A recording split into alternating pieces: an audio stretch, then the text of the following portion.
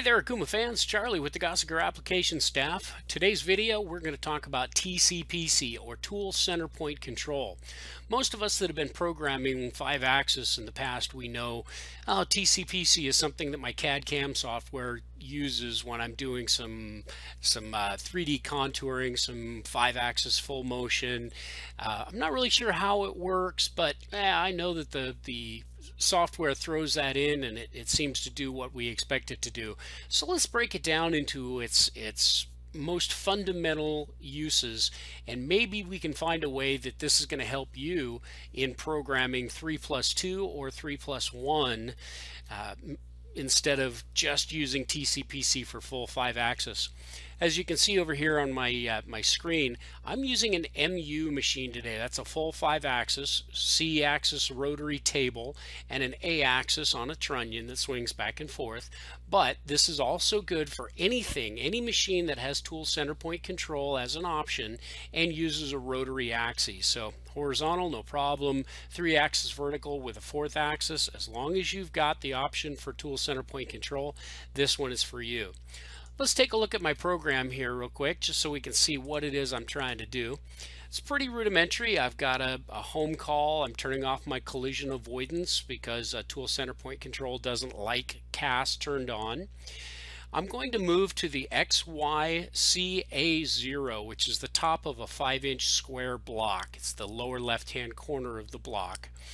And um, I'm just, right now I've got my command for TCPC, G169. I've got that operator noted out because I want to show you what the program does first, and then we'll engage tool center point control and it'll blow your mind. I'm moving to an eighth inch from the top of the part, and then I'm just going to trace out an X five inches. That's a five inch square block, as I said. And then we're going to go up in Y. So for that dog leg move, you're going to see the tool just trace the outside of the block. Then I'm going to rotate my C axis, move again in X and Y, move the C. Then at the very bottom, I will move the A axis back and forth. And currently, with tool center point control deactivated, we're going to see some uh, pretty weird stuff here. So I'm going to put myself in single block mode and let's just march our way through this. Okay, we have a tool change and now I am over the X, Y, A, and C zero. Move to 1 8th of an inch off the part, just like so. And as I described, my first move, a 5 inch move over the X axis. Yep, that's pretty normal. And a Y positive move going up to the upper corner. All right, great. Now the next move is going to be to rotate the C axis 90 degrees. And since my origin is here and it's at the center of my uh, my C axis, you notice the part just swiveled itself out from underneath the, the, the tool and now when I go to X0 it's going to come back to this line although it's still nowhere near the part and a Y0 we're getting back to the center. And now a couple of C-axis moves. We'll just see the um, see the part rotate underneath the tool. But you notice that well X, Y, and Z as well as A are not moving at all now I've moved to an X of 2.5, which is completely off of the part. And let's just blast through that last C-axis motion. And it's going to put the tool about halfway down on this line. We're back to C0, my main orientation. And we're at X2.5. And now let's just swivel the A-axis notice that, all right, the tool is no longer on the edge of the part, of course, because as the A swiveled, the, uh, the part moved away from the edge of the, of the tool. And now we'll be out of the way in the other direction. Okay, no problem. Pretty cut and dry, right? Now let's get back into, take off my single block here, let the program terminate. And now let's take out the G56 the regular height offset move and enable the tool center point control G169. Remember to select and quit. Always remember. Okay, single block back on, and let's march our way through this program. Okay, same as we saw before. Tool positions itself over the part, at an eighth of an inch. These first two moves, the X positive move and the Y positive move, it's exactly the same as it was before I enabled tool center point control. However, now I'm parked over that back corner of the part as I'm about to engage C of 90. Watch what happens. Notice that my X and Y are moving as well as C because tool center point control is maintaining the tool's posture over the point that I told it to be in before moving the rotary axis.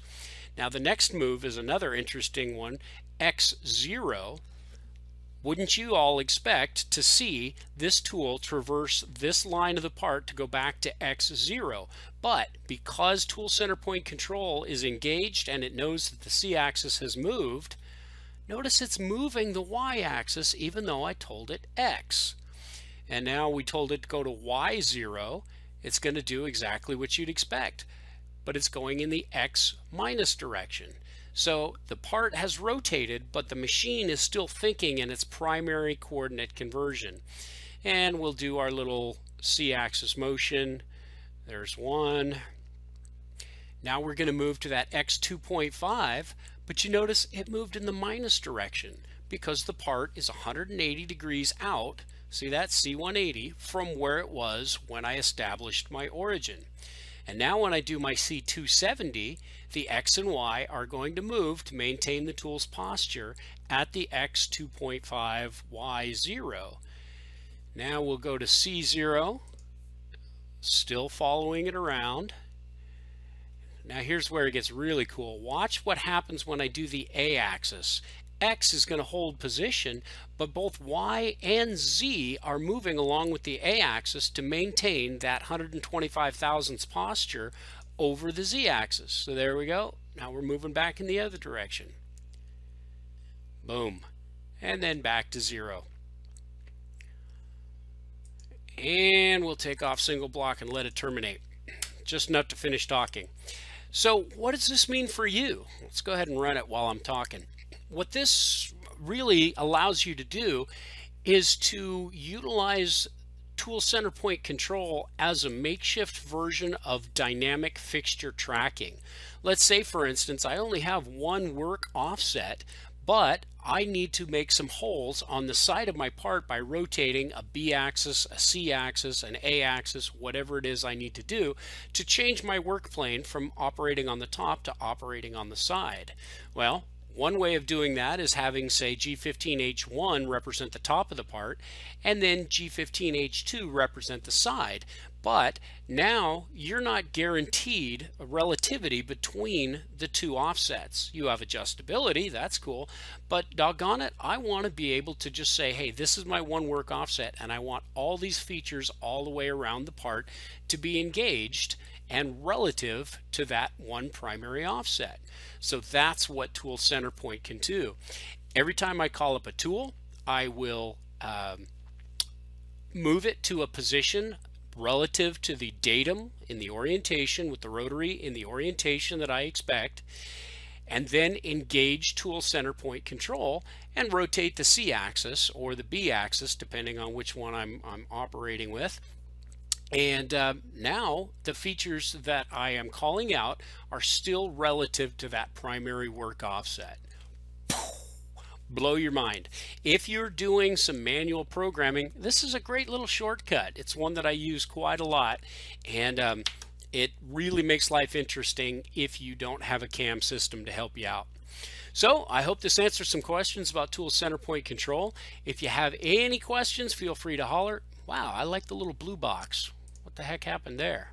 uh, if you have any questions, feel free to reach out to your local Gosiger application staff. We're always here to help.